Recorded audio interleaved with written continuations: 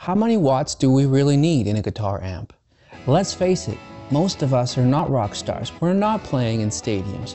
Most of us are just playing in small clubs, in bars, or community centers, or churches. Some of us are just playing in rehearsal studios, or garages, or our basements, or our apartment bedrooms. Do we really need 100 watts of power? To go along with this video, I'm also posting on my website a list of all my favorite small low watt amps. So you can get that from my website. The link is below. And while you're there, check out my latest book. It's called Guitar Soloing Like a Pro and it's available on Amazon.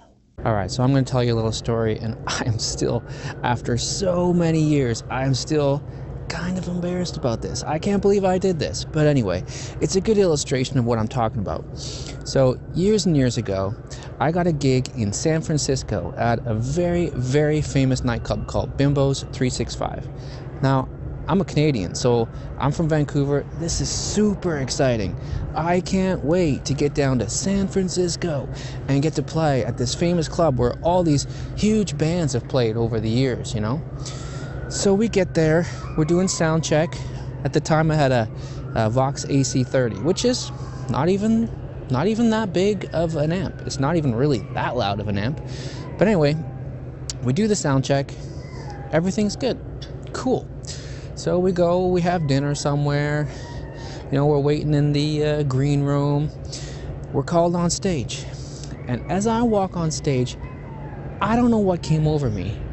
But at that very moment, I decided as I walked past my amp, I'm just gonna crank that master volume way up.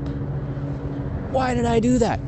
I don't know. I guess I was just overexcited or something and I just wanted to I just wanted this to be like the most fun I've ever had here in this awesome club in San Francisco. So, you know, the lights are on, just about to hit that first chord and I can hear the amp just kind of buzzing now. You know, it is humming. Oh, it is ready. And the audience, you know, if you've ever been to that club, you'll see that the audience is basically like right in front of you, laid out right in front of you. So their heads are basically just at amp level, you know? So I'm ready. And when I hit that first chord, what happens? Everybody in the first five, seven rows just goes, ah, like that. It was like, I don't know, knives in their ears. It was so loud. It was loud for me. I was shocked. Man, it was not good. That is not a good way to start a gig. That is not a good way to start your set feeling like the audience is suddenly in shock and holding their ears. Well, I learned my lesson. So, why do so many of us buy these big loud amps? I think there are a few reasons, and the first one might be hard for a lot of us to admit. A lot of us think bigger is better. And I admit, it's probably amazing to stand in front of a big stack and smash on that power chord and feel that sound hit you in the back. I bet that is pretty cool. Another element, I think, is that a lot of us look up to so many of the guitar players of the 70s and 80s, you know, the greats, who did play with huge amps, but, you know, they were playing in stadiums. Still, we kind of want to feel like that, or we want to emulate that, or we want to know what that was like to be like them. And third, maybe there's even a part of us, or part of some of us, that thinks if we use the amp that our hero used, wow, maybe we'll sound like them or we'll sound better than we are. Now, I'm not a music historian, but if we look at photos of concerts of the early Beatles, and they played in big venues, they played in stadiums, and have a look at their amps. I don't see any microphones in front of those amps. I mean, here they are in 1966 in Germany. They're playing their Vox amps behind them there. Here they are at Shea Stadium. I mean, there's no mics in front of those amps. Those are Vox uh, 7120s, I think. Those are 120 watt amps. And that's all they had to power their guitars for the whole stadium. That's all that people heard. And they're playing in front of screaming teenagers. And as we know, the story goes, they stopped performing live because they couldn't hear themselves anymore. I think Ringo Starr said something like that the only way he could keep time was to watch uh, you know, the butts of the other Beatles kind of swing back and forth.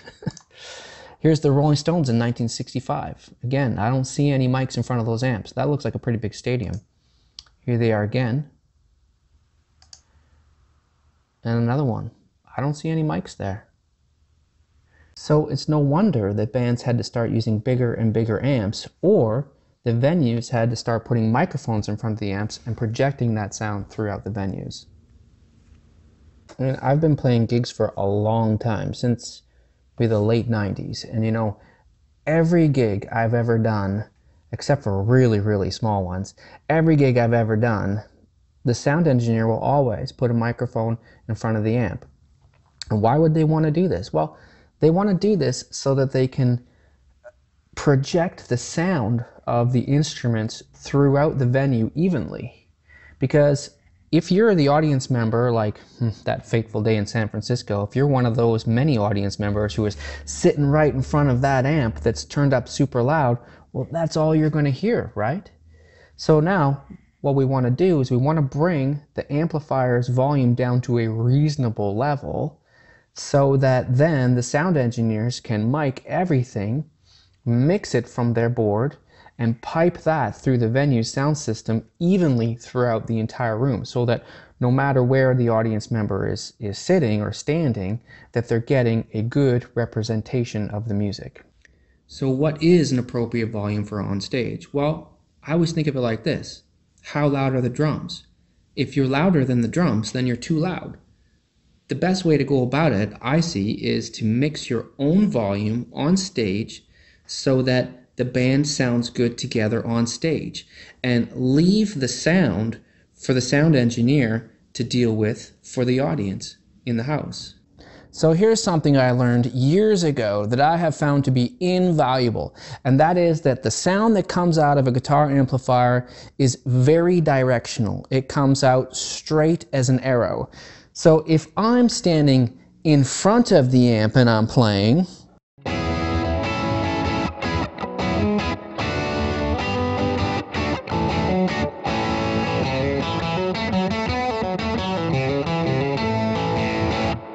I can hear it great. I can hear the top end, I can hear the attack, all the things that I need to play well. But if I'm on stage and I'm moving around and I want to be a little cool, I got to move around a bit. That's what they tell me. Well, I might be over here at some point. And a lot of that top end can seem like it's disappeared because I'm not in the trajectory of the sound, right?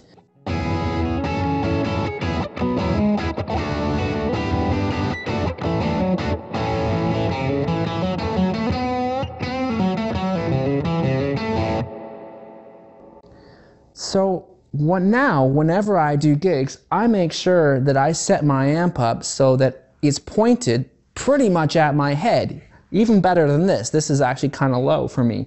So what I do now is I use one of these little stands that you can buy, and I mean, they're pretty cheap and they work great for smaller amps. And they fold out like this.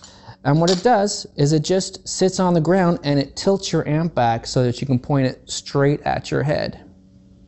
Another thing that I've learned to do over the years in order to make sure that I can hear myself clearly is some of the time I'll actually be facing slightly off center because that turns my ear closer to the amp. Now, maybe that's just because I'm getting older, my hearing's not as good, I'm not sure. But I'll tell you, I really want to be able to hear that top end well so that when I dig in or relax my picking, I can really hear the different dynamics of, of my playing. So since that fateful, embarrassing gig in San Francisco, I've seen other bands make the same mistake. And you know, I wish I could tell them, but so far I've never really had the guts. Years ago, I did a gig at uh, the Penthouse here in Vancouver, which is also a pretty, pretty famous uh, nightclub. And the band that opened for us, this guy comes in with this massive Marshall stack. I mean, huge. And this is a pretty small club. This is like 100 people, I think, something like that. You know, I mean, you set that thing up and you start playing that thing, and you're, you know, he's drowning out the drums, he's drowning out the rest of the band. All. If you're sitting in front of that amp, that stack, you can't hear anything else.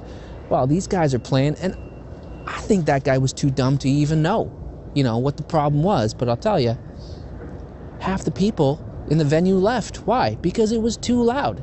They couldn't really hear the music for all the, the volume, for all the sound. So half the people in the venue leave. By the time we get on stage, there's nobody left. There's nobody there.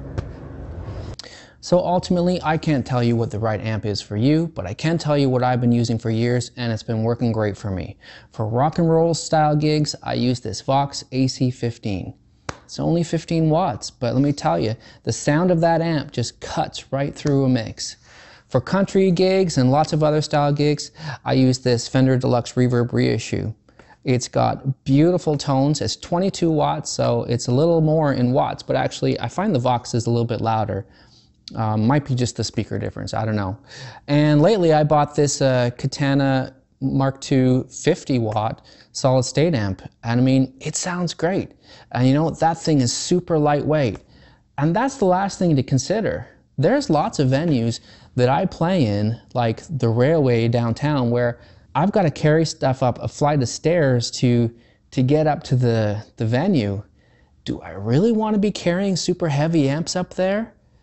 So I'm pretty excited to try this Boss Katana at some gigs as soon as, you know, the world opens up again. And over the past couple years, I've started to see some guys, they're not even bringing amps at all to gigs. They're bringing stomp boxes that are basically amps in a pedal. Does it sound as good? No, I don't think it sounds quite as good, but I mean, there's a lot to be said for just bringing a little bag to a gig, and that's that. And for some gigs, you know what? Maybe that's good enough. And pretty soon, I'm sure those stomp boxes are gonna sound amazing and we won't be able to tell the difference. So let me know what you think. Have you been using big amps? Have you changed what you've been using? Have you tried using smaller amps? Post in the comments below, I'd like to hear.